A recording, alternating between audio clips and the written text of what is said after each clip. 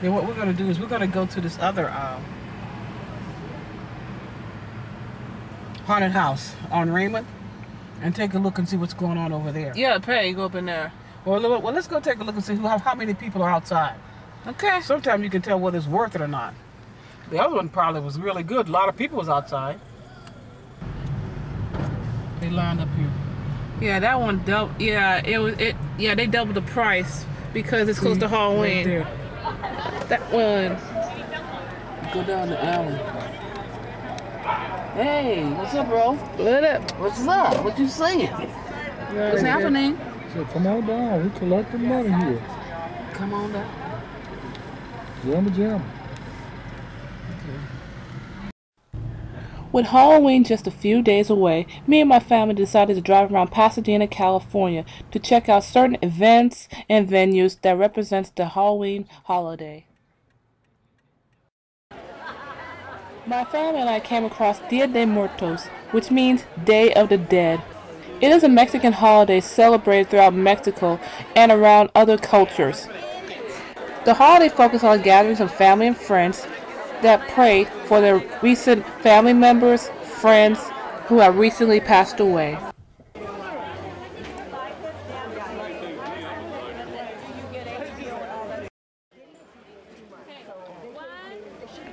The offerings would feature skulls and certain flowers that will represent their family and pay respect towards the dead. I do have some patterns that I use for scissor cutting, and those are very simple. So like I've done this calaca here as a scissor cut, but uh, she's very, very simple. I didn't bring any of those today,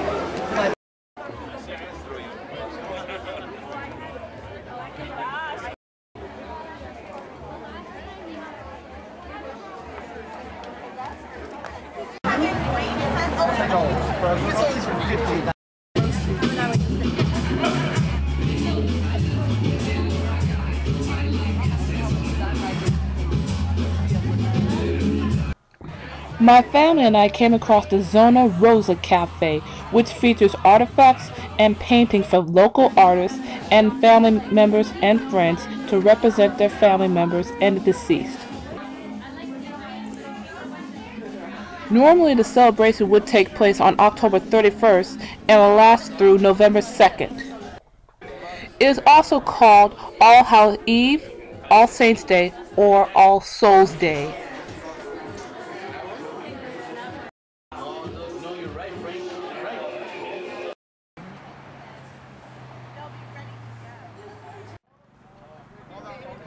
About 10 miles from the Pasadena Playhouse District, in the small town of South Pasadena, was the Theater of Terror Haunted House. You know, you may go in, but you may not come out.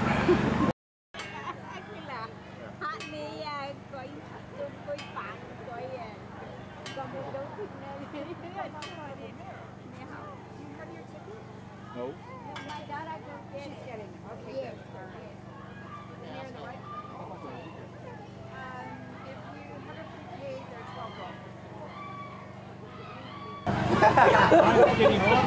This haunted house was rated one of the best haunted houses in California.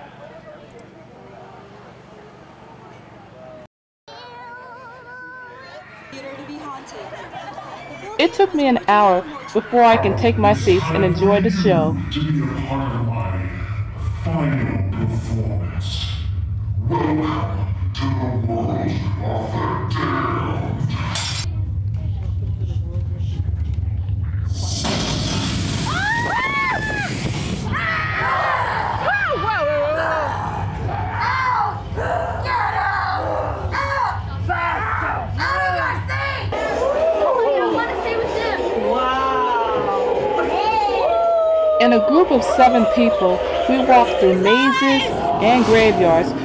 through the spooky Tower of Terror. Don't let the clouds get you! They're evil!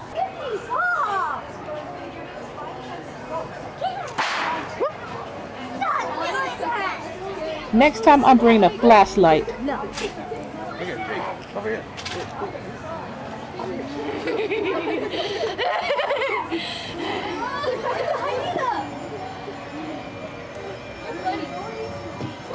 So far, I'm still alive.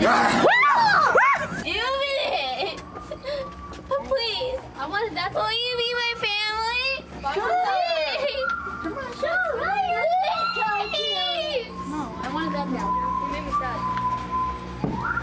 Oh, you're going to die in there. Uh, no, Thanks, but I already have enough craziness in my family.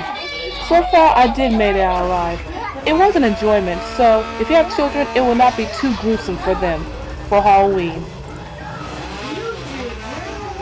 This year, I made my own top 10 haunted houses of 2013. Number 10 is Disneyland, the Haunted Mansion. Number 9, Revenge of the Ninja Maze in Torrance, California.